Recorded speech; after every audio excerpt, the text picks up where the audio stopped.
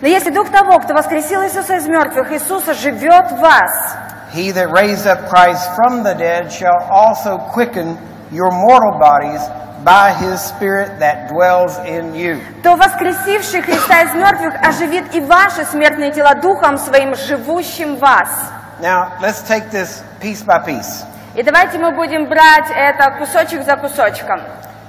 If that Spirit that raised Jesus from the dead dwells in you, Если тот же самый Дух, который воскресил Иисуса из мертвых, живет в вас, if you are born again если вы рождены свыше, and his Spirit dwells in you, и Его Дух живет в вас, the Spirit you have is the Spirit that raised Jesus from the dead. тот же Дух, который вы имеете, это тот же самый Дух, который воскресил Иисуса из мертвых. That's the Spirit you have. Вот это тот Дух, который у вас есть. What I want to show you today И то, что я хочу вам показать сегодня, is how powerful that Spirit is насколько могущественен этот Дух, and help you not to limit Him. и помочь вам не ограничивать Его. He says И тут сказано, that that same Spirit что это тот же Дух, will quicken or make alive your mortal body. Он воскресит или оживит и ваши смертные тела. Now notice, Теперь и заметьте, he says he does it by the Spirit that dwells in you. он говорит, что он делает это тем Духом, который живет в вас. Now, when I was here last, I believe I showed the four ways that a person can get healed. И э, когда последний раз я здесь был, я думаю, что я показала четыре разных способа, как человек может быть исцелен. God is so good И Бог так благ, that he has made a way for every person to be healed. что Он сделал способ для каждого человека, чтобы он был исцелен. regardless of how spiritual you are. И несмотря на то, насколько ты духовный, In Mark 16, Марка 16 it says, Believers lay hands on the sick and they shall recover. сказано, что верующие будут возлагать руки на больных, и те будут исцелены. So you've got believers and you've got sick. Так что у вас есть верующие и есть больные. The believers sh- should not be the sick. Верующие не должны быть больными. You have to remember that Mark 16, Вы должны всегда помнить о Марке 16. laying hands on the sick and them recovering, Возлагать руки на больных, и те будут исцелены. is for a sign for the unbeliever so that they can become believers. И это есть знамение для неверующих, чтобы они стали верующими. So the believers lay hands on sick unbelievers, Чтобы верующие возлагали руки на больных неверующих, and the sick unbelievers и неверующие больные get healed, принимали исцеление and the goodness of God и draws them to благость Божья, которая приводит их к покаянию, and they get saved. и они спасались. That's the purpose of Mark 16. И вот это и есть цель Марка 16 главы. Mark 16 is not was not meant for believers to lay hands on other believers. Марка 16 глава, она не была предназначена для того, чтобы верующие возлагали руки на верующих. So God has made a way И Бог сделал способ for unbelievers, the world, для мира, для неверующих, to get healed.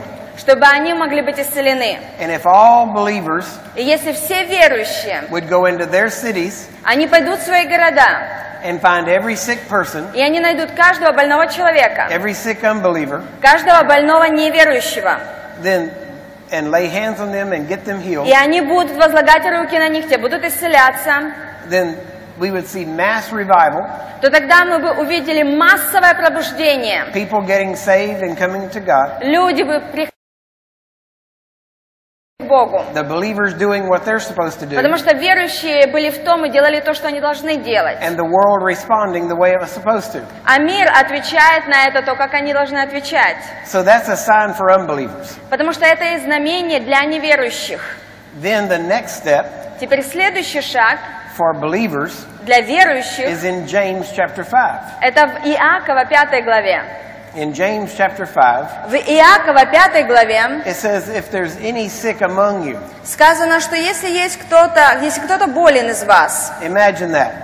просто это вообразите. If there's any sick among you. Если кто-то болен из вас, Honestly, nowadays, а на самом деле в настоящее время, if you were to write to most churches, если бы вы писали большинство церквям, you wouldn't have to write if there's any sick among you. то вы тогда не писали им, если кто-то болен из вас. Because almost every church Потому- has sick members. Потому что пр- практически во всех церквях есть люди, которые больны. But Но here's what we're seeing. вот что мы видим. Over the last 15 years that I've been traveling and teaching, На протяжении последних 15 лет, когда я ездил и учил, now we have planted churches теперь мы уже насадили церкви.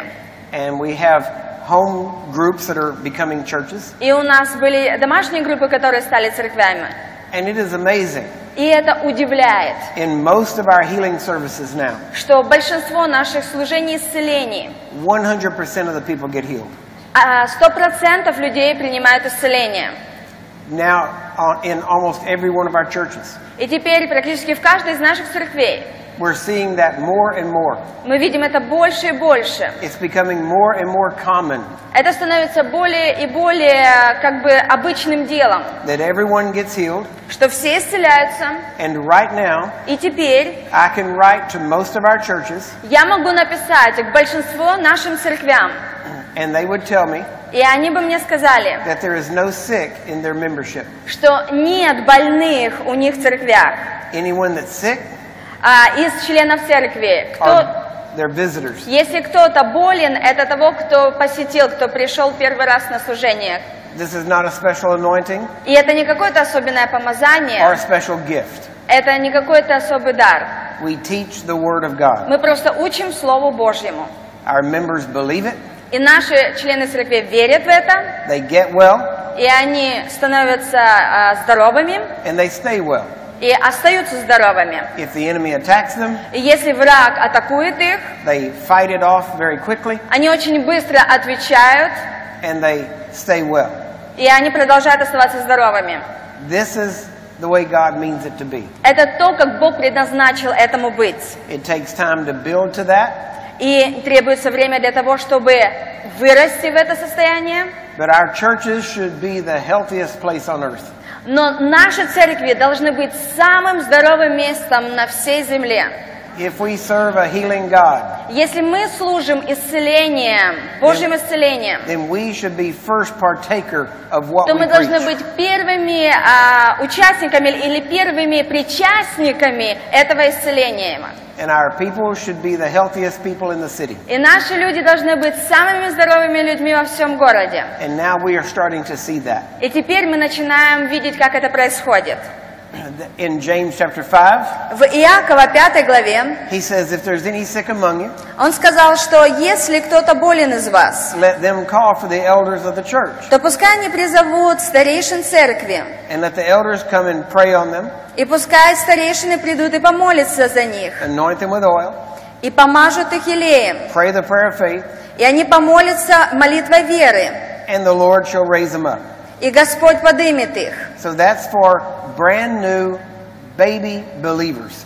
Это именно для новорожденных верующих.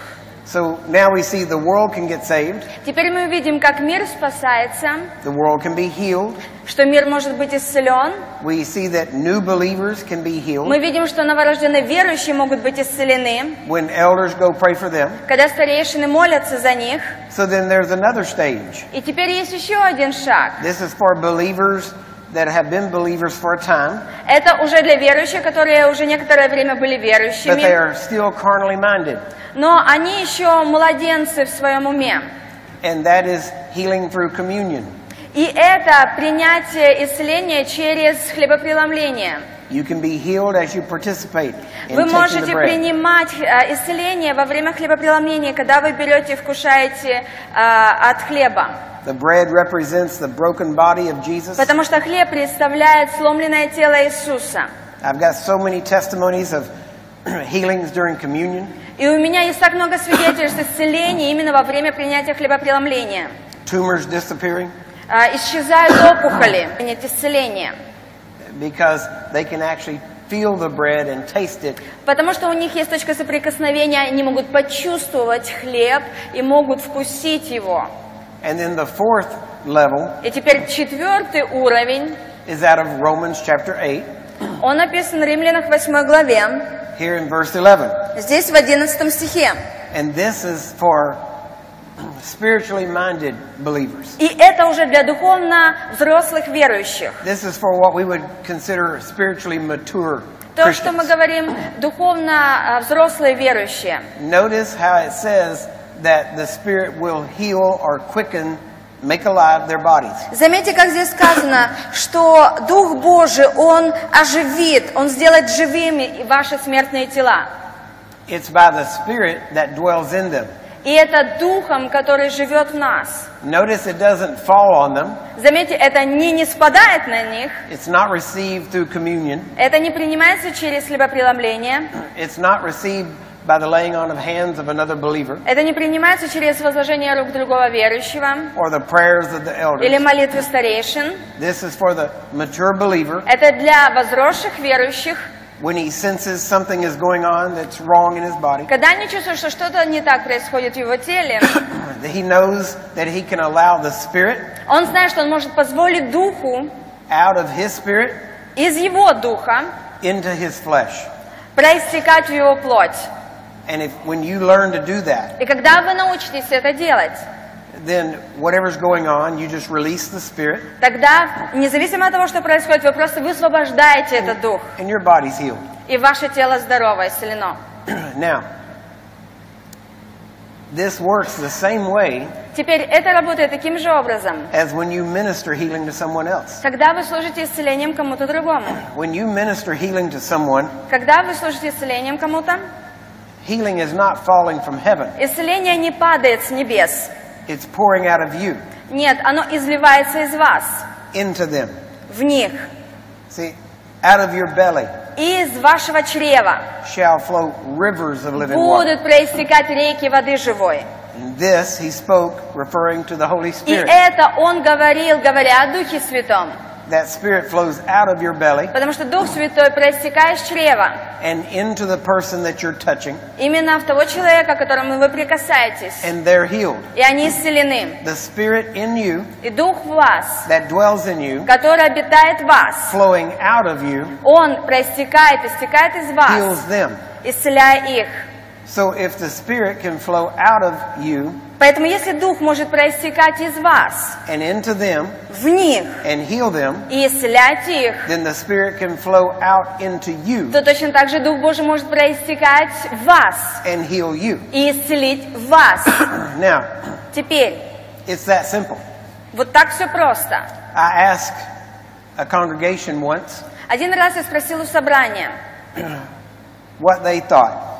Ну вот что они думали. I said, I'm known as a man of healing. Потому что меня знают как человека исцелений.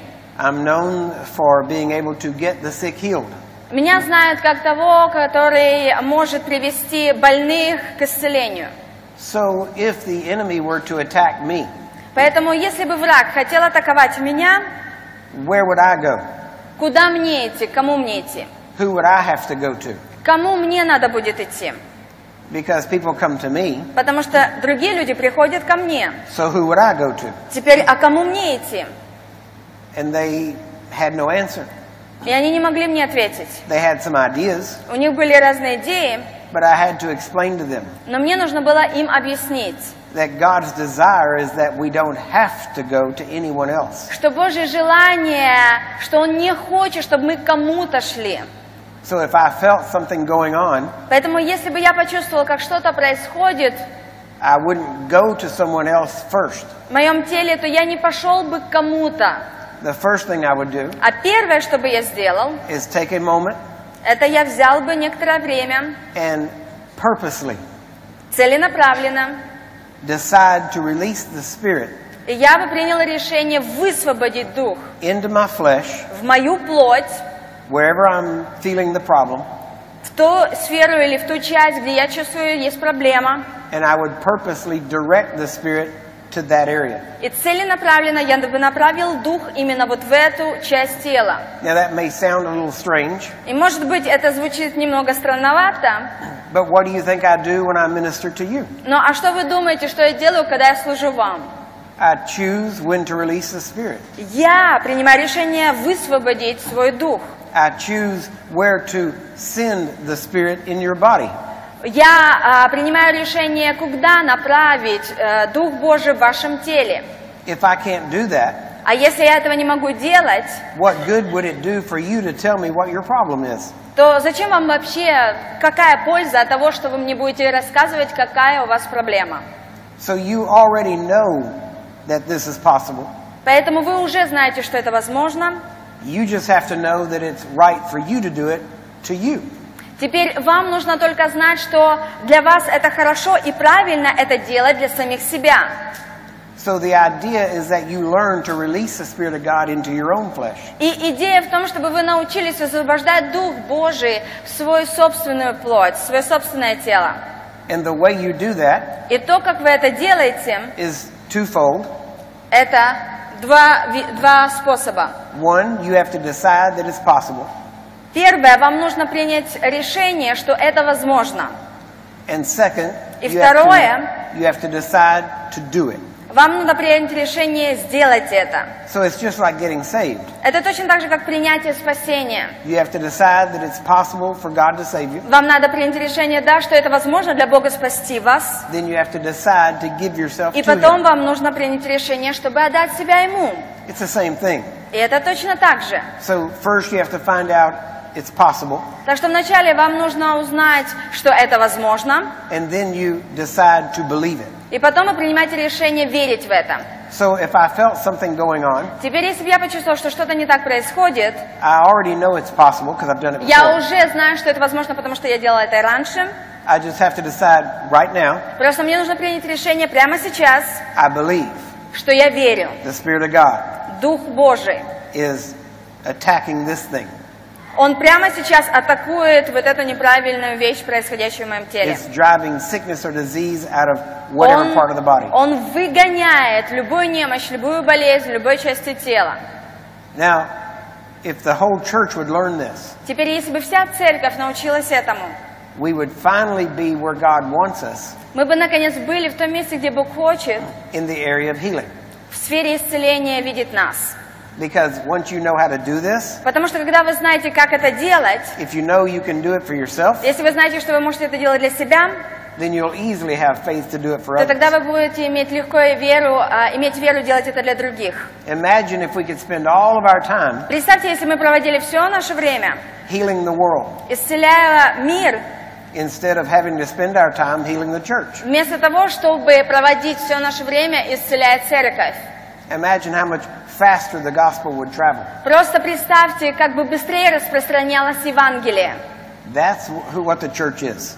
Это кем является церковь. So it's simple. Это легко. You have to decide Вам просто нужно принять решение. to believe it's possible Верить, что это возможно, and then decide to believe и потом верить, that it's true to you. принять решение, что верить, что это вы. It's that simple. Вот так все просто. So this is what Paul is talking about here. Так что вот здесь, это то, о чем Павел говорит здесь. This is the essence of the gospel. Вот это вот и есть то, о чем говорит Евангелие. That you know that the Spirit of God dwells in you. Что вы знаете, что Дух Божий живет в вас. The Bible tells us, Библия говорит нам even here in this passage, здесь, в этом послании, that if we don't have the Spirit of God, что если мы не имеем Духа Божьего, then we don't belong to God. то мы тогда не принадлежим Богу. So you know you have Him. А когда вы знаете, что вы имеете Его, If you're born again, если вы рождены свыше, then you have the Spirit то of вы God. имеете Дух Божий. And if you have that Spirit, Если вы имеете этот Дух, that Spirit dwells in you. то этот Дух, Он вас обитает, живет. He doesn't come and go Он не просто приходит, уходит. because if He came and went Потому что если бы Он просто пришел и ушел, when He was with you, когда Он был с вами, you'd be saved. то вы бы тогда спаслись. And when He left, А когда бы Он ушел, you'd be lost. то тогда вы стали опять потерянным. So every time He comes and goes, you'd be saved or lost. Поэтому каждый раз, когда бы Он приходил и уходил, вы бы спасались, терялись, спасались, терялись. But He said, Но Он сказал, I will never leave you or forsake you. я никогда не оставлю и не покину вас. So we know He's with us Поэтому мы знаем, Он с нами, and He abides with us. и Он обитает, живет в нас. Now that word abide, И вот это слово «обитание» it means to settle down in. Это значит, что приземлиться It literally means и вот так вот э, буквально означает to make oneself at home in. чтобы а, поселиться в доме, The Spirit of God прийти и поселиться. Дух Божий has made himself at home in you. сделал вас своим домом для себя. He's not a visitor. Он не просто посещающий, He lives. он живет, He abides. он обитает, He resides in you. он в вас находится постоянно.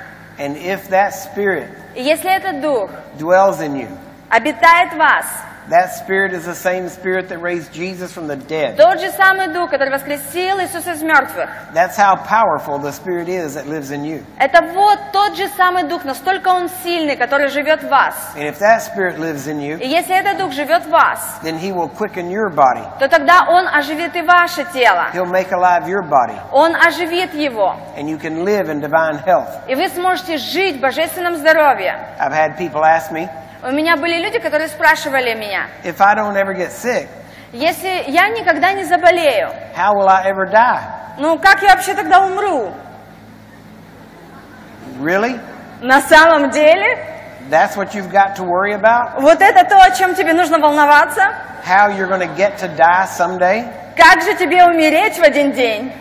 Why don't you just think about how you can live till then? Как насчет того, чтобы просто думать о том, чтобы как жить? See, that's what we have to come to. Вот это то, к чему мы должны прийти.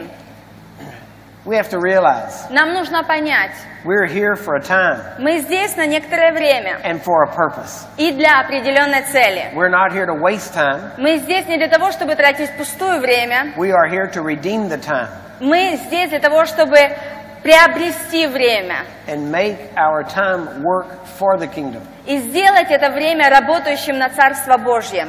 He says Он сказал in verse 12, в 12 стихе, Therefore, brethren, «Итак, братья, we are debtors not to the flesh мы не должники плоти, to live after the чтобы flesh. жить по плоти. For if you live after the flesh, Ибо если живете по плоти, you shall die. то умрете». Well, there's your answer. Вот ваш ответ. All you have to do to die Все, что вам нужно сделать для того, чтобы умереть, is live after the flesh. просто живите по плоти. But if you live after the Но flesh, если вы живете по плоти, then you're going to have condemnation. тогда у вас будет осуждение.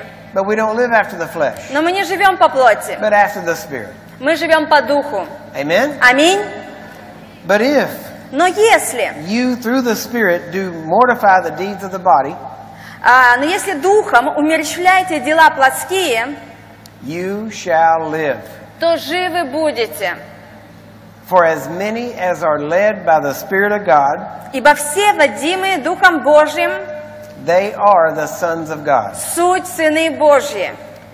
For you have not received the spirit of bondage again to fear. Потому что вы не приняли духа рабства, чтобы опять жить в страхе.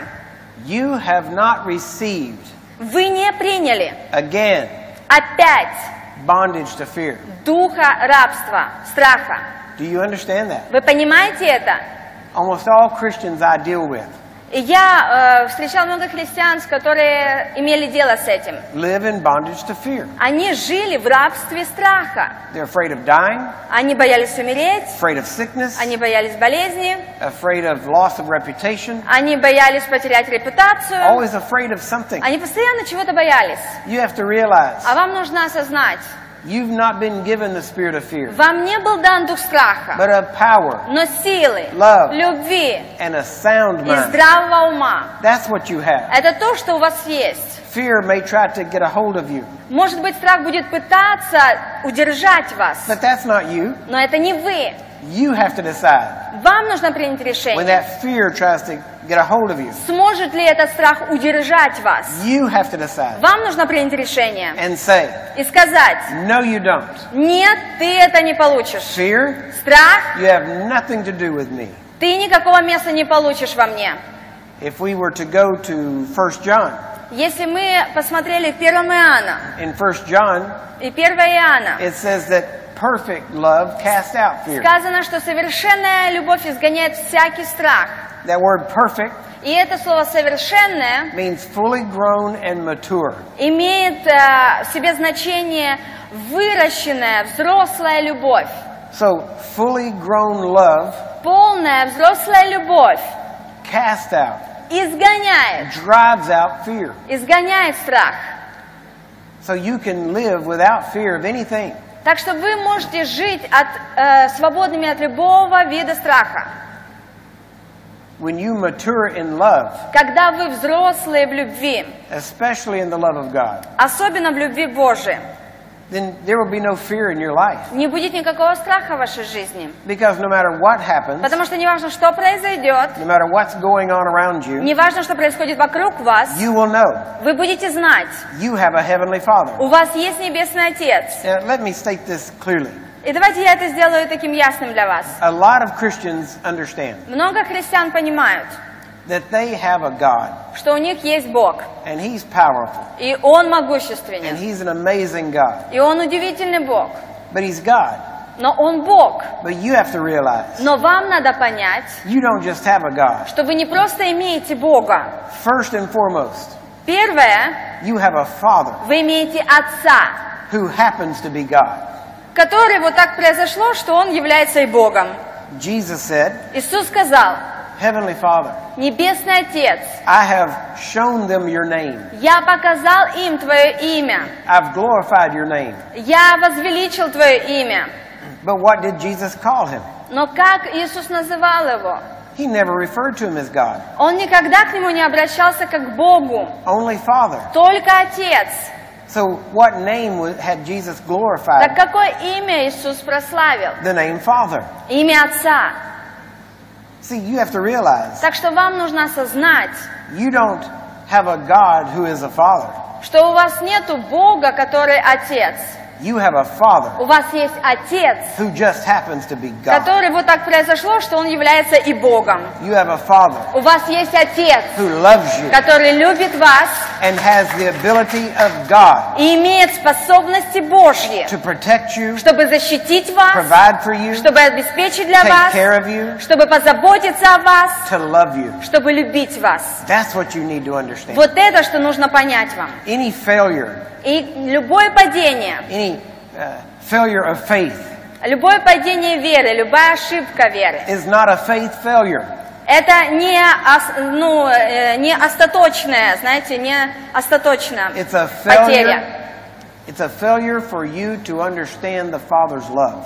Это падение просто для вас понять любовь Отца. Jesus didn't talk much about power. Иисус не говорил много о силе. He talked about the love of the Father. Он говорил о любви Отца. He said, You'll abide in my love. Он говорит, что ты обитаешь в моей любви, I abide in my Father's love. а я обитаю в любви моего Отца. And he said, And if you abide in my love, Он говорит, что если вы обитаете в моей любви, the Father abides in me, то Отец обитает во мне, and I abide in him. и я обитаю в нем. And if you abide in our love, И если вы обитаете в нашей любви, then we will come to you то мы придем к вам, and manifest ourselves. и мы проявим себя. God wants to manifest Бог himself. хочет проявить себя, But he manifests himself through love. но Он проявляет себя через любовь. See, we think he manifests through power. Видите, мы думаем, что Он проявляется для силы. No, healing is love manifested. Нет, исцеление – это проявление любви Его. Love heals. Любовь исцеляет. Provision, Обеспечение, meeting your needs, То, что э, обеспечивает ваши нужды, that's what love does. это то, что любовь делает для вас. Because love takes care of Потому people. что любовь заботится о вас. That's love. Это любовь. That's love manifested. Это любовь в проявлении. It's not just power manifested. Это не просто сила в проявлении. God shows his power Бог показывает свою силу because of his love. из-за своей любви. If he didn't love us, А если бы Он любил, не любил нас, he wouldn't display his power to us. Он бы и не показывал свою силу нам. Amen? Аминь. This is what you need to realize. И это то, что нам нужно осознать. If you would focus on God's love for us and Если for the вы, world, если вы будете фокусироваться на Божьей любви к нам и к миру, there wouldn't be a question about faith for healing. то не будет никакого вопроса в отношении, как иметь веру для исцеления. Jesus never questioned that. Иисус никогда не ставил это под вопрос. Jesus never said, I wonder if the Father wants to heal them. Иисус никогда не задавал такой вопрос, ну не знаю, может ли Отец, хочет ли Он сейчас исцелить его. Jesus said, if you've seen me, you've seen the Father. Иисус сказал, если вы видели меня, то вы видели Отца. Jesus, it says that he was moved with compassion. Сказано, что он был движим состраданием, That's love in action. а это любовь в действии. Why? Because God is love. Почему? Потому что Бог есть любовь. Jesus just did what love would do. Иисус просто делал то, что делала бы любовь. He said, I only do what I see my Father do. Он сказал, я делаю только, что вижу делающим моего Отца. And my Father is God, А мой Отец Бог, and God is love. а Бог есть любовь. So all I do is what love would do. Так что все, что я делаю, это то, чтобы любовь делала для вас. If love saw a sick person, И если любовь видит больного человека, of course it would heal. ну, конечно же, она исцелит его. If love saw a hungry person, И если любовь видит голодных людей, of course it would feed them. ну, конечно, она их насытит. Because love loves. Потому что любовь, она любит. And love meets needs. И любовь, она отвечает на нужды. If you look at 1 Corinthians chapter 12, И если вы посмотрите на 1 Коринфянам 12 главу, it gives us a list там целый список of what we call gifts of the Spirit, того, что там написано, ну, того, что мы называем дарами Духа. which are simply nine ways И это эти девять, а, на самом деле это просто девять путей, that the Spirit manifests Himself. то, как Дух Божий проявляет себя. If you see those nine ways, И если вы посмотрите на этих девять путей, every need humanity can have, что каждая нужда, которая только может быть у человечества, I don't care what the need is, и не важно, мне не важно, какая это нужда, every need any person can ever have каждая, любая нужда, которую может иметь любой человек, can be met by one of those nine gifts. может быть отвечена вот этими девятью, одним из девятью даров. Every need. Любая нужда. You need healing? Если вам нужно исцеление, Gifts of healings. То есть дары исцеления. You need direction? Если вам нужно направление, The word of wisdom. то есть слово мудрости. You need to, to know about something? Если вам нужно знать о чем-то, The gift of the word of knowledge will то take. есть дар слова знания. You need to understand God's thoughts? Если вам нужно понять Божьи мысли, The gift of tongues то brings those есть, out. То есть дар говорения на иных языках. You need to understand what that gift does, Если вам нужно понять, что этот дар делает, what that gift is saying. что этот дар говорит, It's the gift of the interpretation of то есть дар распознания иных языков. Any need you have, То есть всякая нужда, которая бы у вас была, you need provision, если вам нужно обеспечение для нее, you need protection. если вам нужна защита, That's the gift of faith. То это дар веры. It's that simple. Вот так все They're просто. not mystical. Они не какие-то мистические. It's just how God takes care of people. Это просто то, как Бог заботится о своих людях. Some people are so concerned with the gift, А некоторые люди настолько поглощены дарами, they forget the love of the giver that gave the gift. что они забыли о любви того, который дал эти дары. The love of God Любви, любви Божьей. gave the gift Любовь Божья дала эти дары, so that the people can be helped. чтобы люди могли принять помощь. And we end up thinking about, do I have this gift or that gift? И потом мы находим себя и думаем, так, а у меня есть этот дар, а у меня есть тот And дар. we, we see a person И мы видим человека, and we think, I don't have that gift to help them. А, у которой какая-то нужда, мы говорим, ну у меня нет этого дара, который бы мы- им помог. No, that's not right thinking. Нет, это неправильное мышление. You have the gift, У вас есть главный дар. not just a gift, Не просто дары. the gift, У вас есть главный дар. the gift of the Holy Ghost. Главный дар Святого Духа. He lives in you, Он живет в вас. and His gifts are in Him.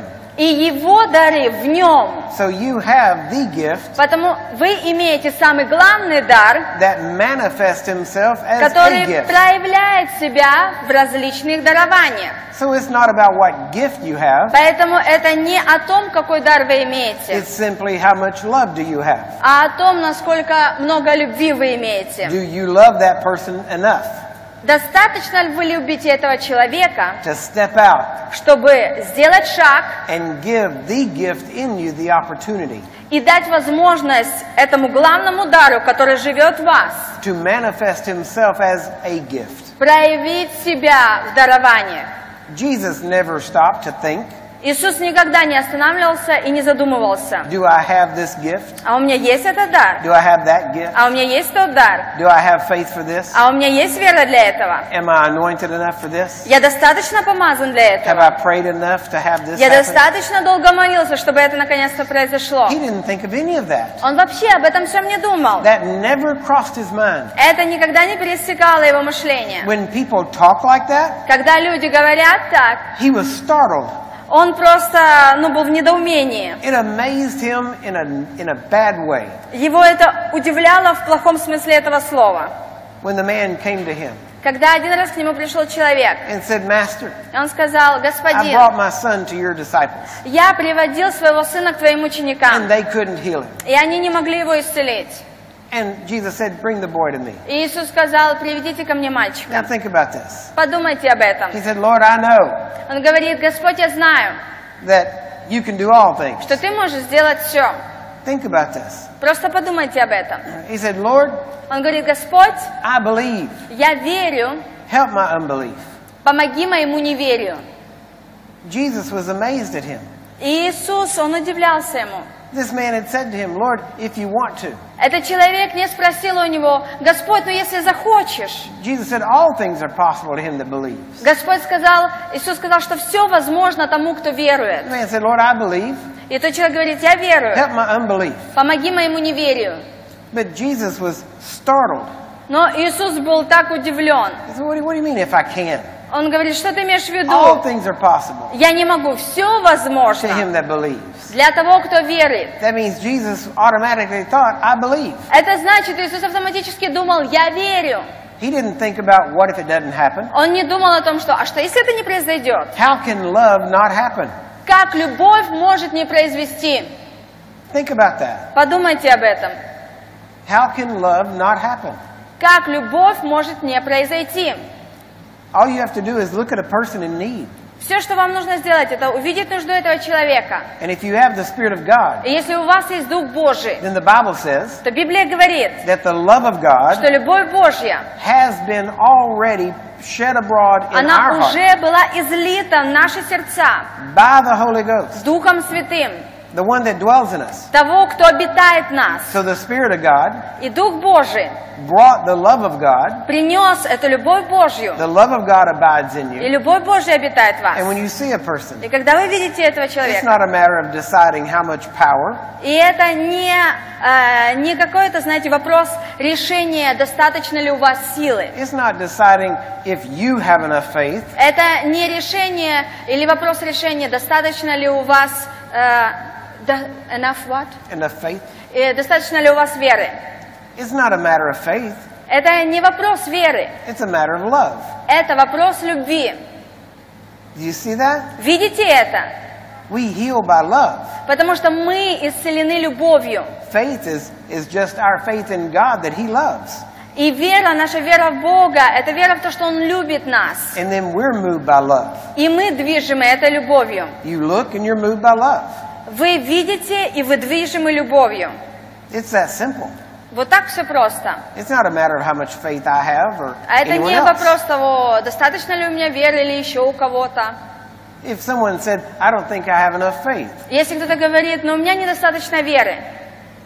even if you thought that, you shouldn't say it Даже если ты так думал, тебе не надо было это говорить. because you might not realize what you're saying to God. Потому что ты, наверное, не осознаешь то, что ты говоришь Богу. Your faith is in God. Потому что твоя вера в Бога. So if you said, I don't know if I have enough faith, Поэтому если вы говорите, что у меня, наверное, недостаточно веры, faith is simply trusting God that He will keep His word. а вера – это просто то, что вы верите в то, что Бог исполняет свое слово. So when you say, I don't have enough faith, И когда вы говорите, у меня нет недостаточно, у меня недостаточно веры, you think you're talking about you, то вы думаете о том, что вы говорите о себе.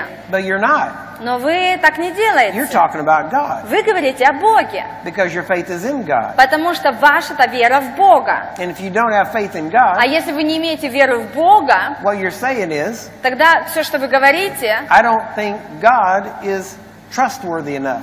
Я думаю, что, ну, Богу нельзя слишком доверять. You're not saying about you, Вы не говорите о себе. You're saying, I don't think God can be trusted to Вы do this. говорите о том, что вы не можете доверять Богу в отношении этого вопроса. I know God said He would do it, Я знаю, что Бог сказал, что Он это сделает, but I don't believe He'll keep His word. но я не верю, что Он исполнит свое слово. Do you see that? Видите это?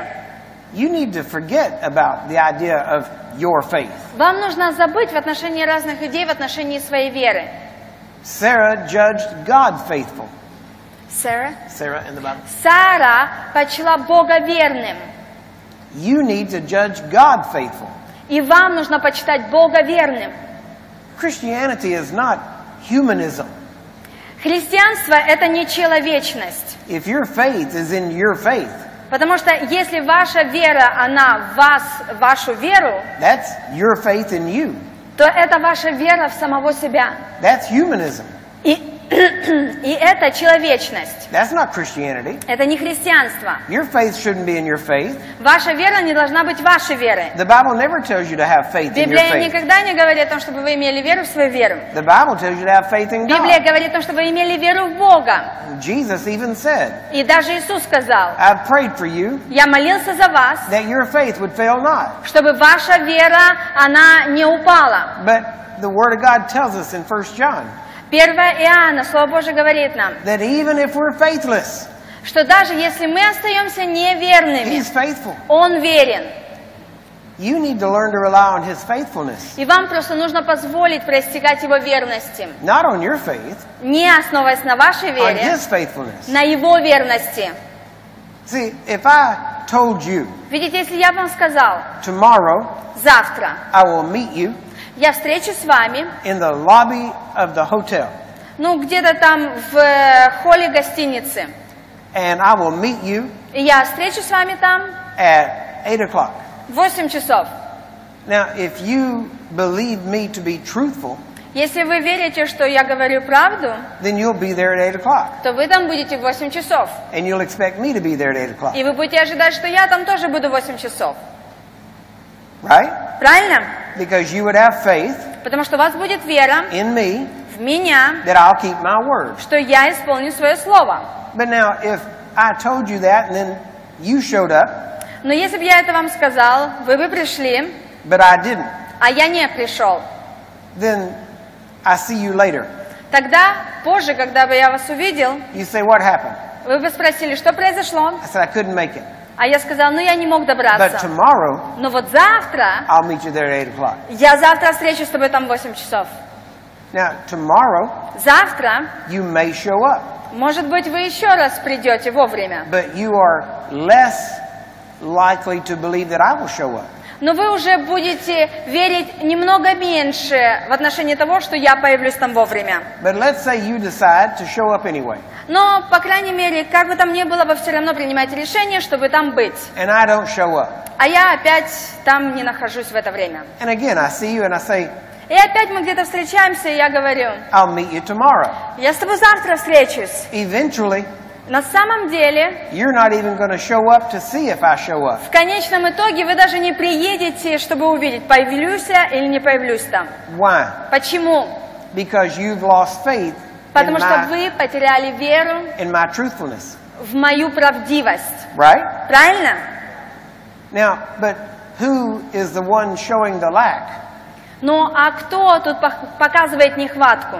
Is it you for not showing up? У вас нехватка в том, что вы не пришли вовремя? Or is it me for not showing up? Или это я виноват, что я не пришел вовремя? See, you would lose faith in me Вы потеряли веру в меня, because I would have proven myself unfaithful, потому что я доказал себя в неверности, untrustworthy. что мне нельзя доверять моему слову. So when you say that you don't think you have enough faith, Поэтому, если вы думаете, что у вас недостаточно веры, you're not even talking about you. то вы тогда вообще не говорите о себе. You're saying that God can't be trusted. Вы говорите о том, что нельзя доверять Богу. So don't try to sound humble. Поэтому не старайтесь выглядеть такими смиренными Don't try to sound religious или религиозными, and say, well, I don't know if I have enough faith. говоря, ну не знаю, если мне достаточно веры. No, you're bringing an indictment against God. Нет, вы приводите, вы приходите против Бога тогда. Let me show you another reason why that kind of thinking is wrong. И давайте я вам еще одну причину покажу, почему это все неправильное мышление. The essence of Christianity Основание христианства is that you forget about you, – Это то, чтобы вы забыли о себе, that you get your mind off of you, чтобы вы могли свой ум вообще убрать из себя. and you put your mind on God. И вы поместили свой ум Бога. Isn't that true? Не правда ли? That you die to self, Потому что вы умираете для себя, so you take your mind off of you, чтобы ваш ум убрать из себя. and yet, Несмотря на это, if you say, если вы говорите, I don't have enough faith, но у меня недостаточно веры, what's the first word in that sentence? Какое первое слово в этом предложении? I. Я. Your mind is on you again. То есть опять ваш разум о себе. So you're not in Christianity at that point. И в этот момент вы не в христианстве. Christianity has faith in God. Потому что христианство имеет веру в Бога. So you should be thinking God is faithful. Поэтому вы должны думать о том, что Бог верен. Get your mind off of you. И уберите свой ум из себя. It's no longer you that live, Больше уже не вы живете, but Christ who lives in но you. Христос живет в вас. The life you live now, Жизнь, которой вы живете сейчас. you live by the faith Вы of the Son живете of God, верой Сына Божьего, who loved you and gave который for любит you. вас и отдал себя за вас. So it's Christ who's living in you. Поэтому Христос живет в вас. How much faith do you think Сколько Christ веры вы думаете у has вас? in God? Сколько веры есть в нем Бога? Perfect faith? Совершенная вера. If Christ had faith in God, would God perform what he said he would? Как вы думаете, если у Иисуса была вера в Него, э, в то, что Он сотворит, все то, что Бог сказал, Он сотворит, Then get your mind off of you, тогда уберите свой ум из себя, no live, потому что не вы живете более, and let Christ in you и позвольте Христу в вас operate by his faith. действовать Его верой. And it's a sure thing. И это уверенная вещь. Amen? Аминь.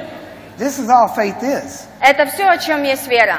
There are so many sermons on faith. Потому что есть так много посланий веры. Faith is the simplest thing in the world. А вера – это самая простая вещь в мире. It has to be, Она должна быть такой простой. because God wants all men to have faith. Потому что Бог хочет, чтобы все имели веру. Amen? Аминь. And if he wants all men to have А faith, если Он хотел, чтобы все люди имели веру, he's got to make faith as simple as то ему possible. нужно было сделать веру самой простой вещью. If he makes it hard, Если бы он сделал это чем-то then тяжелым, he's automatically going to take some people out. трудным, то тогда он автоматически некоторые люди выбывают. So God is so faithful Поэтому Бог так верен, that anybody что всякий ought to be able to have faith in him. сможет иметь веру в Него. It has nothing to do with the person. И это не имеет ничего общего с человеком. You just need to see God Вам просто надо видеть Бога and know that he will keep his и word. знать, что Он исполнит свое слово. This is all faith is. И вот все, о чем вера. And then you just live your life. И потом вы просто живете своей You жизнью. walk your life Вы живете свою жизнь like God's going to keep his word. так, как Бог исполняет свое слово. If I don't believe God's going to keep his word, А если я не верю, что Бог исполнит свое слово, why would I go to the hospitals? зачем мне тогда идти в больницы? Why would I pray for people in healing? Зачем я буду молиться за исцеление других людей? I know God is not a respecter of А я знаю, что Бог нелицеприятен к человеку. If he'll heal one, Если Он исцеляет he одного, will heal all. Он нелицеприятен к людям. Если Он I don't- исцеляет одного, Он исцеляет всех. I don't try to find out which ones he will heal and which ones he Я won't. не пытаюсь узнать, кого Он исцелит, а кого не исцелит. Who would want to serve a God like that? Кто бы хотел такому Богу служить? That's not God. That's Это не the, Бог. that's the lottery. Это просто... хм? The lottery. Это просто раздавание. Это лотерея. По Rolling лотерее. It's like rolling dice. Yeah. See, that's the way people look at God. Это то, как люди смотрят на Бога. They're going to see if they're lucky today. Они сегодня хотят узнать, насколько они удачливы будут. See if the, the dice are hot for them today. Какие сегодня кости будут, выпадут для них. That's not God. That's А not это не faith. Бог, это не вера. God is always the same. Бог постоянно тот же. God Бог, is loaded dice. Он постоянно заполнен выигрышем. Amen? Аминь. See, I talk your language. Amen? На вашем языке. out there. You play the cards, you play, I know. То есть у вас постоянно есть, если вы играете в карту, у вас тузы, если вы что-то другое, вы постоянно в выигрыше. You just have to realize И вам нужно понять, this game is fixed. что эта вся игра, она уже для вас обеспечена выигрышем. We win. Мы всегда выигрываем. It's fixed. Это все обеспечено. It's already done. Все уже сделано. Amen? Аминь. See, this, this, this fight Вот это вот борение, это борьба, It's fixed. It's, оно уже все, уже все сделано с этим. the going to take a dive Потому что враг будет пытаться, because he's already been beat.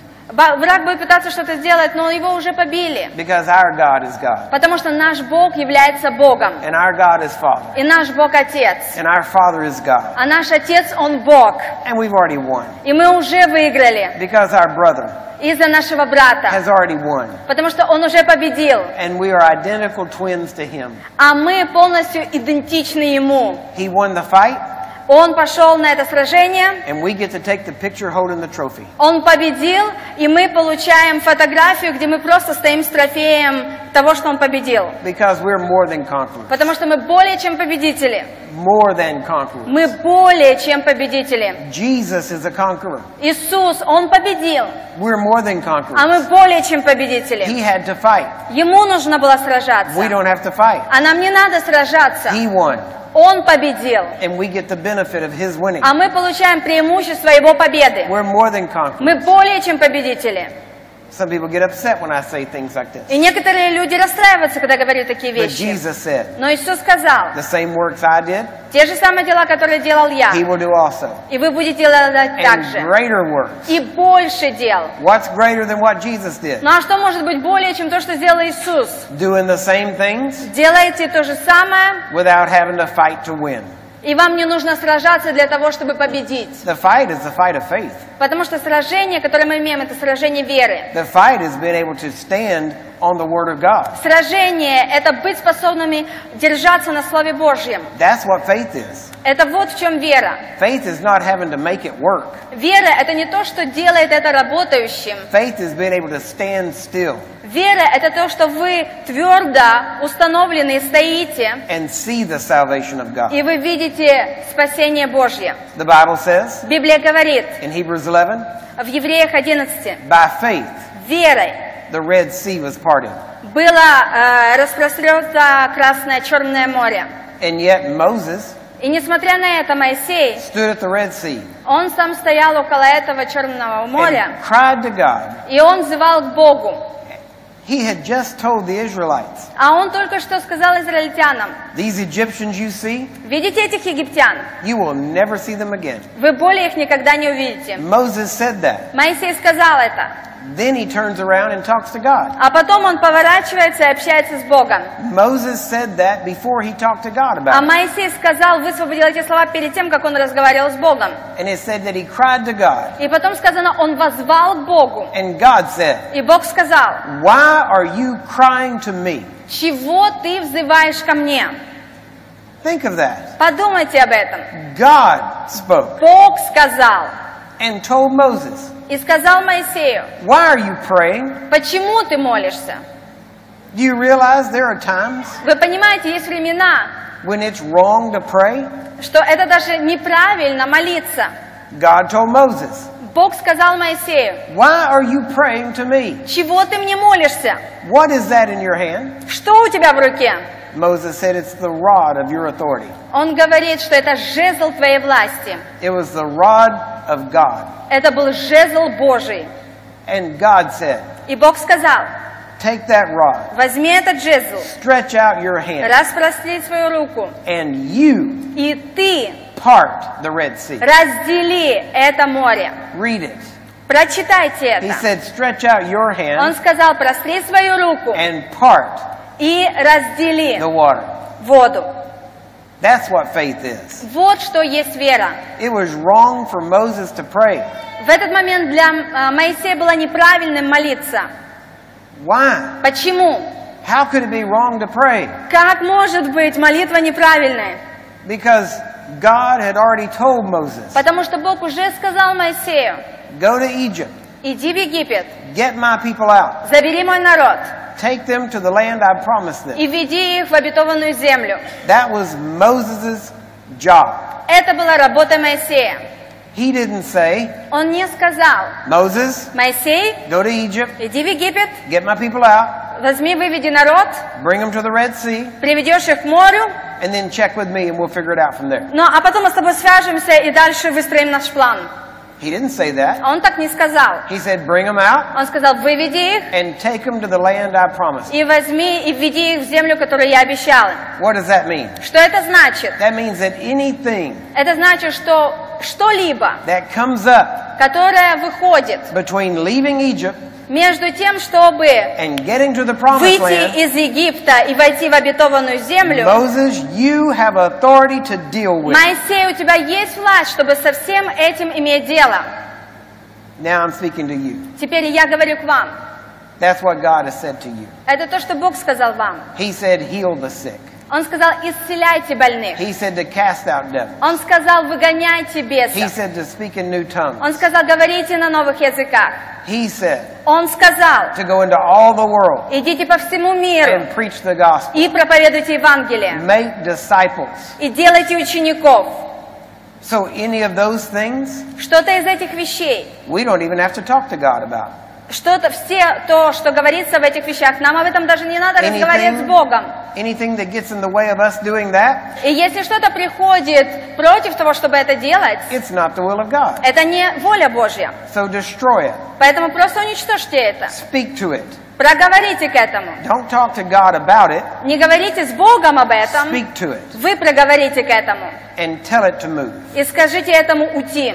See, people think they have to pray Видите, люди думают о том, что им нужно молиться. and get direction from God about being a missionary. И принять направление от Бога, чтобы быть миссионером. You don't need a word from God to be a missionary. Вам не нужно слово от Бога для того, чтобы быть миссионером. You need a word from God to not be a missionary. Вам нужно слово от Бога для того, чтобы не быть Because миссионером. He's already told believers to go into all the world. Потому что Он уже сказал всем верующим идти по всему миру. So you don't have a right to stay. Поэтому у вас нет права стоять. You have a right to go.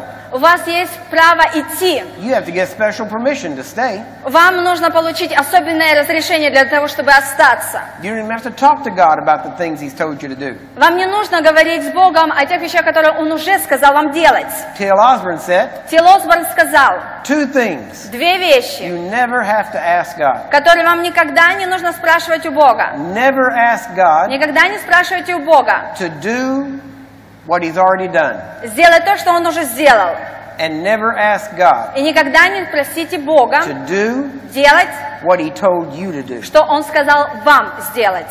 So anything He's already done, Поэтому все, что Он уже сделал, you don't have to ask Him about. вам не нужно об этом спрашивать у Него. Anything He's told you to do, Все, что Он сказал сделать вам, you don't have to talk to Him то about. вам тоже не нужно с Ним об этом говорить. You just have to go and do. Вам просто нужно идти и делать.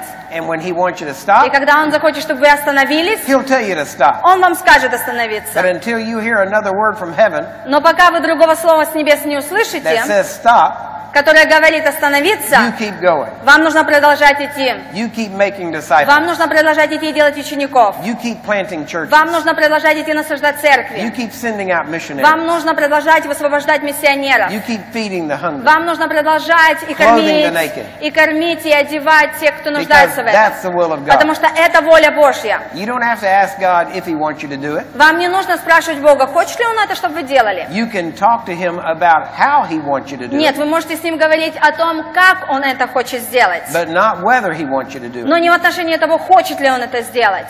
Amen? Аминь. This is the responsibility of a Это ответственность христиан.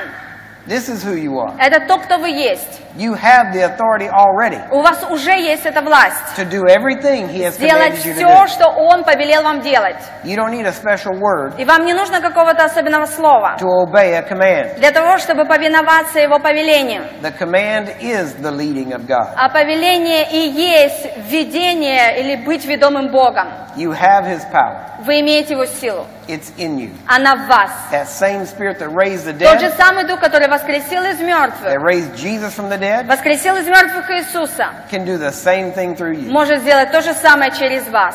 Amen? Аминь.